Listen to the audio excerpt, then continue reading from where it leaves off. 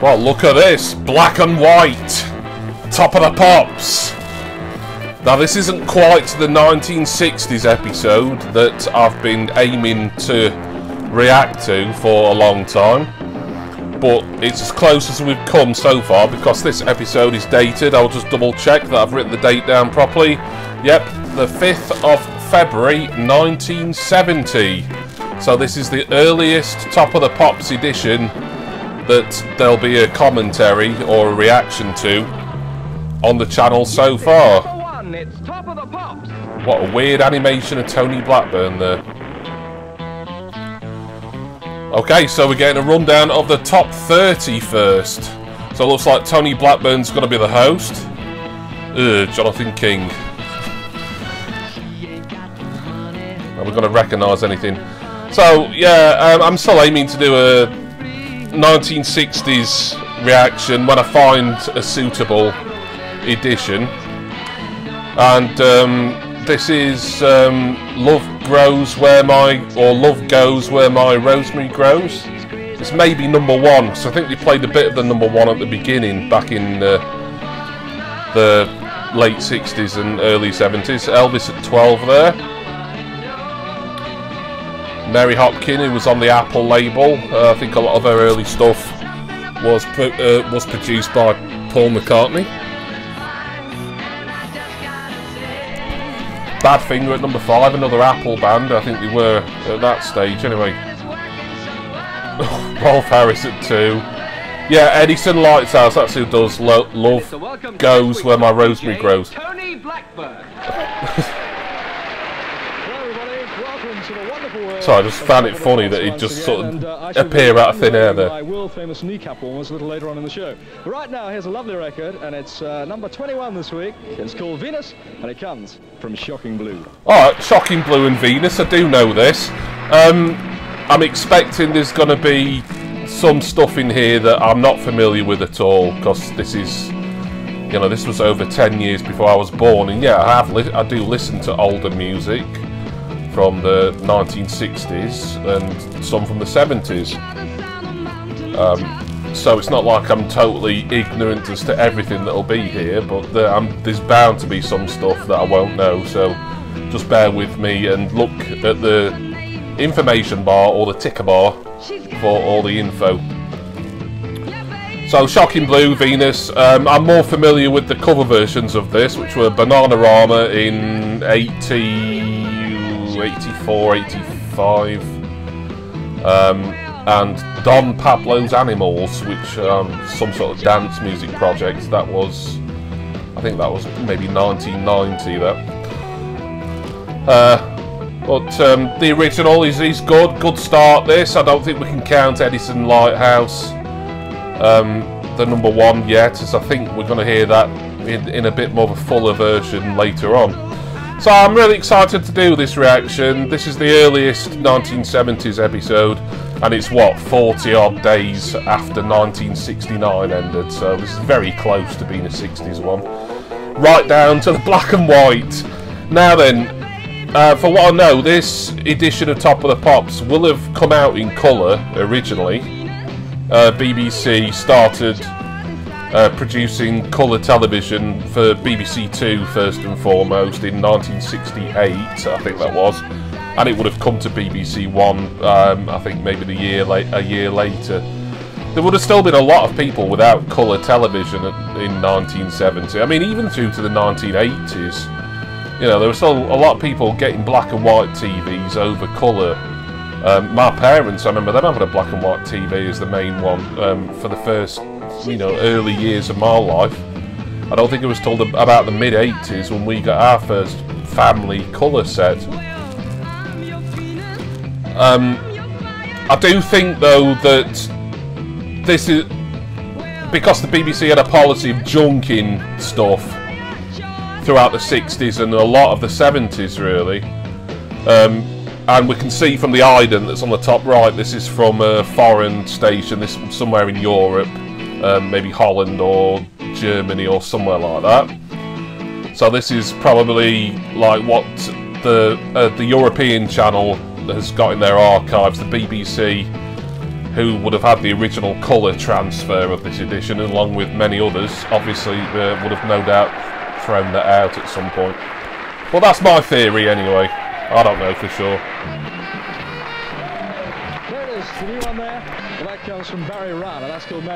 Well, we didn't hear that. That must have been cut for copyright. Here's a lovely record at number four from Peter, Paul, and Mary, Leaving on a Jet Plane. Oh, leave it on a jet plane. Um, I do know this. I. Oh, we're not going to have it. That's another one that's cut for copyright. That's a shame. That I was going to talk about that. It's a John Denver original. We're going to judge during this one because we're going to see the kids dancing here in the studio to the number 30 sound, the first new entry this week, and the only new entry, Jackson Five, and a number called "I Want You Back." Right, we've got to hear this. oh, we are, and it's a good song as well. Um, pity about leaving on a jet plane by Peter, Paul, and Mary. Um, uh, I do like the. I'm a, I don't know. That I would, that felt 1970 felt a bit early for that, but I, maybe it was a 60s thing from John Denver. Anyway, um, no point talking about it because we didn't see it. Uh, Jackson 5, I Want You Back. Um, if this wasn't their debut single, it was very, very close. I think this would have come out in America sort of 1969 probably out in the UK in '69, and it's it's taken till February 1970 to to climb up into the the top 30 here. So yeah, we're just seeing some uh, dancers in the studio, uh, as was often the case. Uh, well, Pan, I think Pan's people were around at this point, so uh, I've got the feel, a feeling we'll probably see them later on. There's a bit of a variety from looking at the studio audience. I mean, promo videos barely existed at this point, unless you were the Beatles and maybe one or two other bigger acts, really. I say it every time, and um, I'll say it again. I haven't watched this episode at all. I've just had a quick scrub through, just to check the quality. I knew there was some stuff edited out for copyright. Um, I won't say what the other one is that I think's been edited out, but um, uh, it's a bit of a shame for me. Apart from the other, I forgot what the first one was. The second one was Peter, Paul, and Mary. But um, what I will do, I will list all the stuff that was cut for copyright at the top of the video description. Um, so you can go away and check that out elsewhere. I mean, be on YouTube somewhere, no doubt, uh, in a different form from uh, a Top of the Pops broadcast, no doubt. But uh, it's. I say it's not often I get to react to full Top of the Pops episode. I've been fairly lucky with some of them, not having to take anything out myself or finding one and nothing's been taken out before I've even started. But there's been a lot where I've uh, I've either had to had to cut tracks out, even with me talking all the way over them, or they've been cut out, you know, prior to me downloading it.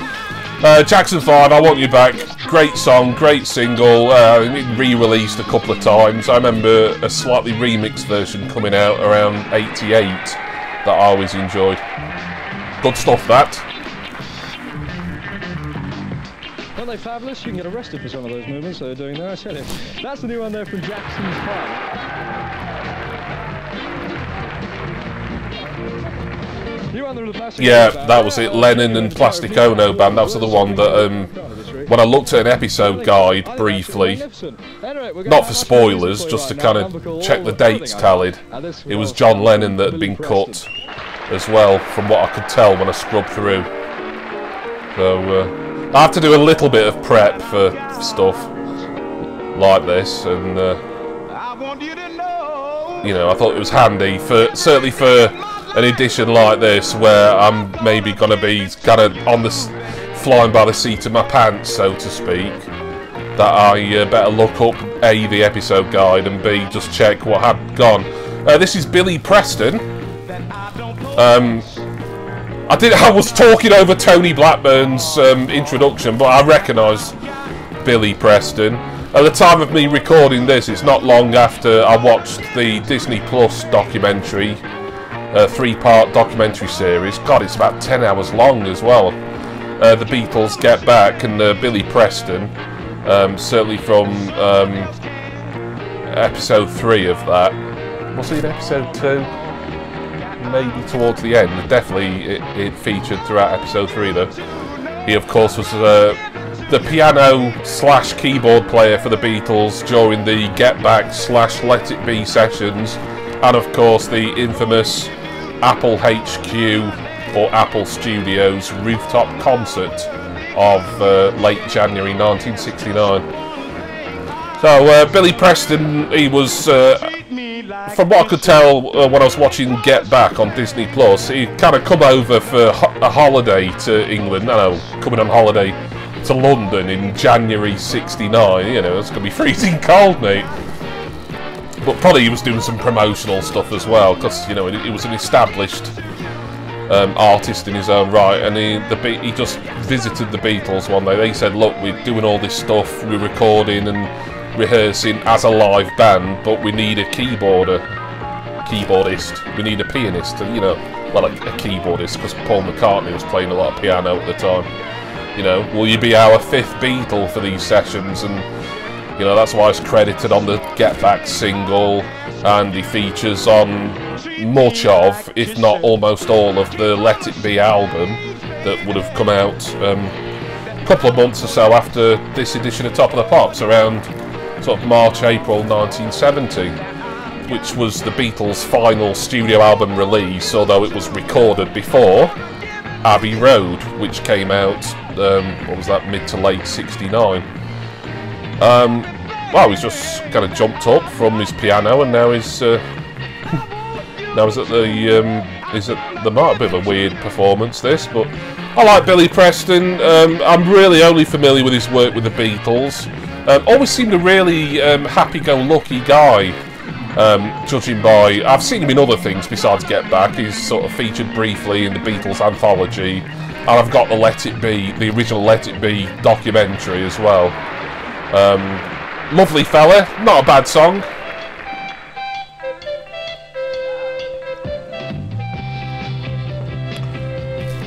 So, uh, no introduction for this, but it sounds familiar.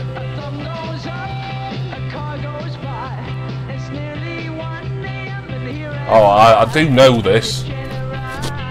Oh.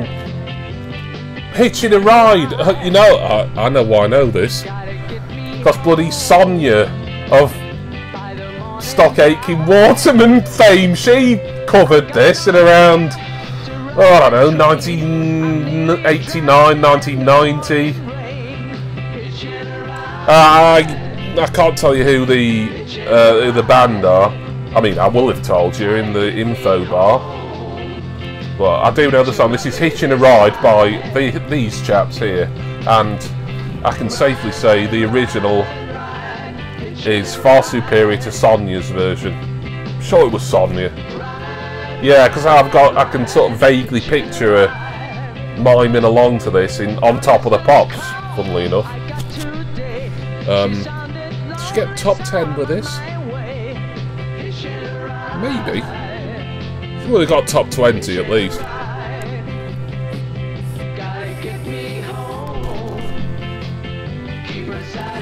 So, so far, I think this 1970 edition has been pretty good. The number one's decent, and I think we'll hear some more of that later, I think. Um, shame about the cuts, but it is what it is. You can't do anything about that, personally, I'm afraid. Um, but the stuff that we have seen, uh, Shocking Blue with Venus, Billy Preston was good, Jackson 5, great stuff. Possibly my favourite song of the evening so far. Um, and as I say, I mean, this would have been a colour broadcast, but um, whichever European TV network, Festival One, or I think that's it, Festival something, um, they obviously had a black and white transfer of it, which has survived um, being junked as the BBC policy was for many years, which uh, I know um, as an organisation they've you know, deeply regret doing a lot of junking. I mean, any Doctor Who fan of the classic era will uh, bemoan the BBC's junking policy. Uh, you know, they're still uh, scrabbling for, you know, coll collectors and foreign TV channels to go through their archives to see if any missing Doctor Who episodes are still around. And some crop up from time to time, but uh, that's a process that's been going on for years. That was good. Uh, Hitching a ride, and that of course comes from Vanity Fair. Okay. Vanity Fair, did he say? at Number 25 Something fair. From Judy Collins, school. Both sides now, and here to dance to it, the lovely Pans people. so we've got Pans people doing a dance. Uh, didn't catch what the song was, but of course it'll be on the screen. And ice cream castles in the air. Familiar voice. Canyons everywhere. I've looked at clouds that Does sound a bit like Joni Mitchell actually. now they only block the If it's not Joni Mitchell, I apologise, and whoever it is will be on screen. But that's who that's who the voice sounds like to me.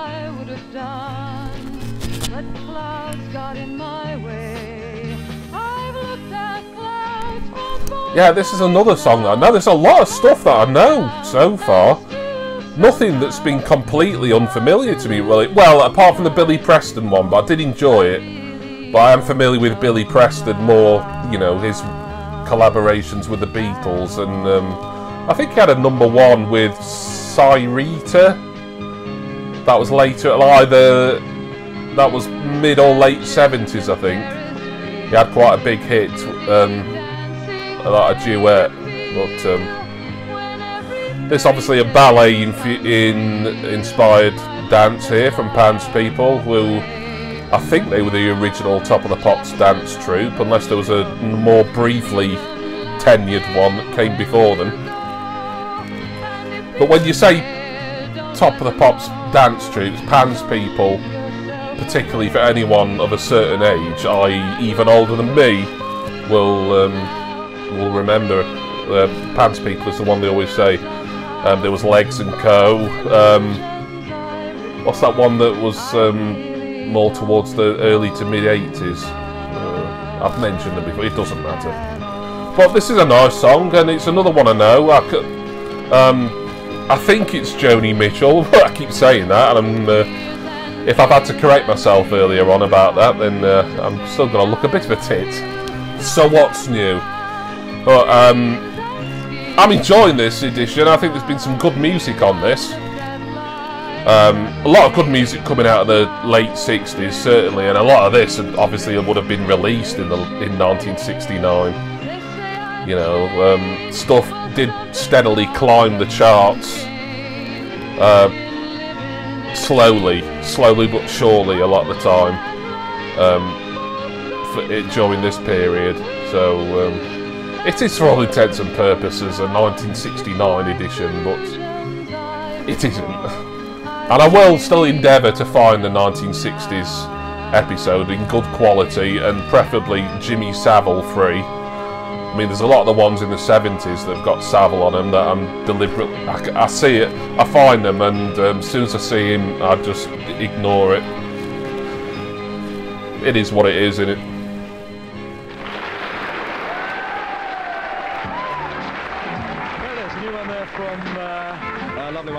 Judy Oh, Judy Collins, Stop, Joni Mitchell. Hey, about uh, a couple of weeks Oops. ago, the uh, very first dance contest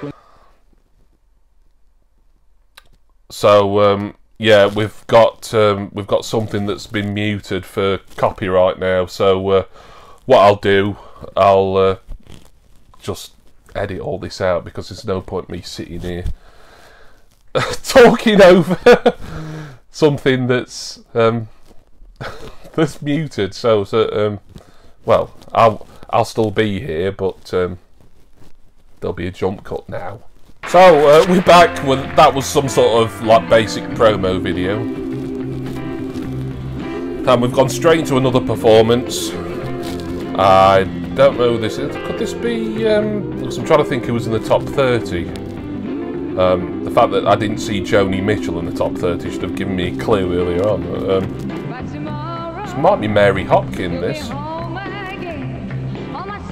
I'm not overly familiar with Mary Hopkin, so I don't want to speak too much on her in case this is someone else. Uh, Um, it's just these are. I don't want to say a struggle because it's a pleasure doing any top of the pops reaction, whether it's like something full of stuff I know or like in this case, there's a lot of stuff that um, is out of my comfort zone. On the midnight train, back to Monroe. Um, but this is pleasant. Um, enjoy this attractive uh, lady singer here. Uh, so a lot of stuff will have been, um, well, we know there's already been three songs, three singles edited out, and one muted for copyright, which I'll have um, edited all the silence out in uh, my own edit for this. Um, but I still think this episode is going to weigh in probably around the 30 minute mark, maybe even a bit more, which shows you that Top of the Pops was um, till I think till well into the 80s. It was um, 40 minutes in length. I mean, they would have. They, I'm used to Top of the Pops being a half hour show, you know, Thursday evening before EastEnders a lot of the time, you know, seven o'clock till 7:30, but. Um, certainly, some of the uh, a lot of the 1970s ones and a few of the early 80s ones I've done um, without edits and everything. They've always weighed in around the 40 minute mark, and I think this one would be at least 40 minutes. Maybe at this stage it was even 45. I don't know.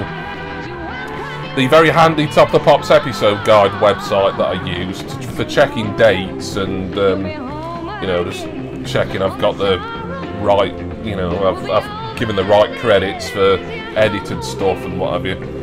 Um, I think they give the show length generally, not very precisely, but you know they're not doing it in like so many minutes and seconds. You know that's a bit bit extreme, really, a bit anal, who were. Um, but um, if, if the, this is a 40 or 45 minute or whatever length edition, it will say on there. But uh, yeah, I like this. Um, good stuff there.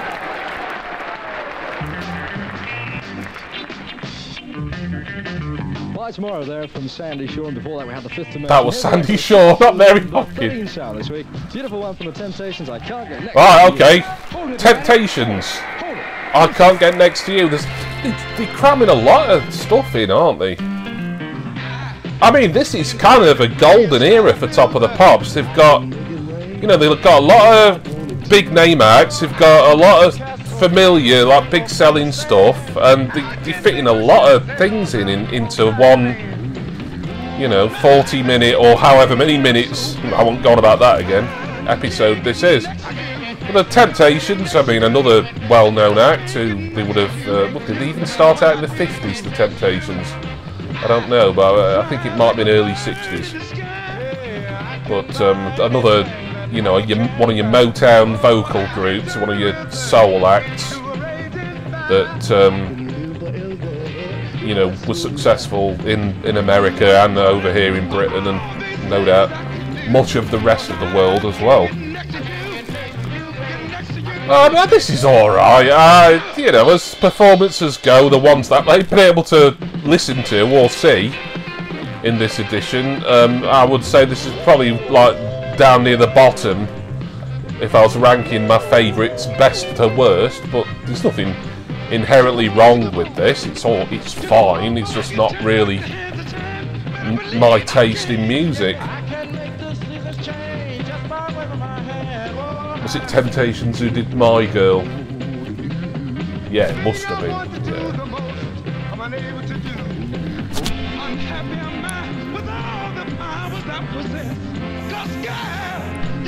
Oh yeah, let me know in the comments what you think about the 1970 February 5th Top of the Pops and whether you'd like to see more from this sort of really early 70s era. I've done a 1971 episode. Um, that was getting on for two years ago now. God, shows how long this series has been running. And um, last year I did a 1973 edition. Enjoyed both of those. But I'm always happy to listen to what other people want as well. On the Temptations. Here's a guy who's come all the way from America specifically for the opening of a brand new film called Butch Cassidy and the Sundowners, in which he sings this particular number. So here's the original version, which has been top of the American hit parade for quite some time. It isn't quite there now, but it's been there for a number of times. Uh, Raindrops keep falling on my head from B.J. Thomas. B.J. Thomas, raindrops keep falling on my head, and yeah, I think the world and his wife knows raindrops keep falling on my head. Uh, so this was um, a uh, something from the Butch Cassidy and Sundance Kid soundtrack. That was a western film that obviously came out um, well, turn of the decade, late 60s, early 70s. Um, Yeah, I've heard this version before. I've not seen the film, but um, his voice sounds familiar enough to know that I'm likely to have heard the B.J. Thomas version, but it's one of those songs that um, I mean, you just know it from like year dot, really, don't you? From like being a little child. Well, maybe not now. You know, perhaps I'm showing my age a bit there, but you know. I'm not sure my children would definitely know this, but they might do.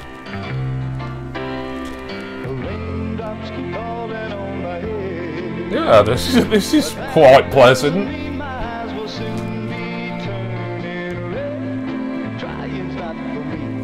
Ah, I've, I've got I've got no complaints about this, certainly. And uh, there again, yeah, we've not got to the number one yet. Assuming, I mean, you know, whether you'd have thought, because they played so little of Edison Lighthouse at the start, that because it is this week's number one, that we've got to hear more of it at the end of the show or near the end. Can't tell you anything about BJ Thomas. Um, not sure what became of him what he did prior or since, but um, fingers crossed I'll have got enough interesting research to be done for the info at the bottom of the screen.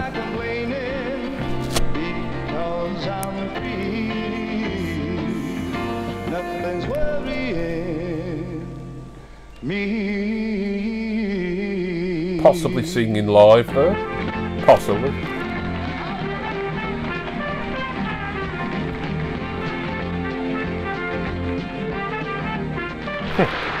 Quite a bit of a jaunty ending to that, I weren't expecting. BJ Thomas, uh, you've probably read in the papers that Peter Marinello has just been signed to Arsenal for the fantastic fee of £100,000, and we're very lucky to have him with us here on Top of the Pops to present tonight's prizes. Over to you, Peter.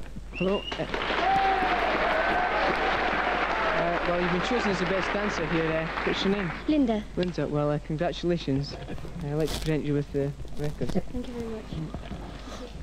Uh, hello, uh, what's your Hi, name? Delia. Uh, oh, your eyes are fabulous. I'd like to present you with these uh, records. Uh, Your eyes are fabulous, okay. What's she wearing? Thank you very much there, Peter.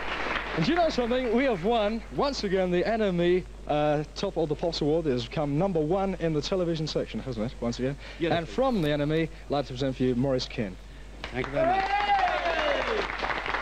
Uh, Tony, uh, for the fifth consecutive year, Top of the Pops has been voted the best television show, and it gives me Best pleasure to do music television show, because NME was a music the New Music paper. Thank you very Thank much. you very much. So it's not like it Thank be you much. Coronation Street in the NME. So there you go. Right now, Still. we're on to number one song. It's number one for the second week. Here we go. Edison Lighthouse and Love, Love grows where rosemary grows, or I said love goes where rosemary grows.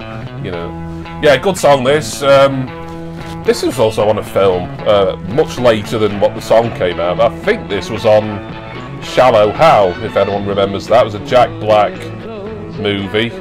Also featured Jason Alexander, who played Costanza in Seinfeld. I think that was around sort of 2001, 2002. Um, it was one of those, uh, one of the Farrelly brothers um, better films. I started finding them a little bit hit and miss at that point. Um, they, of course, did Dumb and Dumber. And I'm sure this song was on there. Um, good, yeah, good number one. This, I think this is a decent song. I think my favourite performance tonight, if you can call it a performance, was still Jackson 5, I Want You Back. Enjoyed Billy Preston, even though it wasn't a song of his I was familiar with.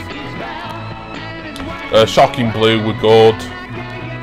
Uh, Judy Collins, uh, case mistaken identity, but I enjoyed her. Um, Sandie Shaw was the, that the person I credited as being Mary Hopkins. You know, um, nothing on this that I would say was completely bad. Not massively bothered about the Temptations. Um, BJ Thomas was pretty good. Oh, I think this has been a strong addition.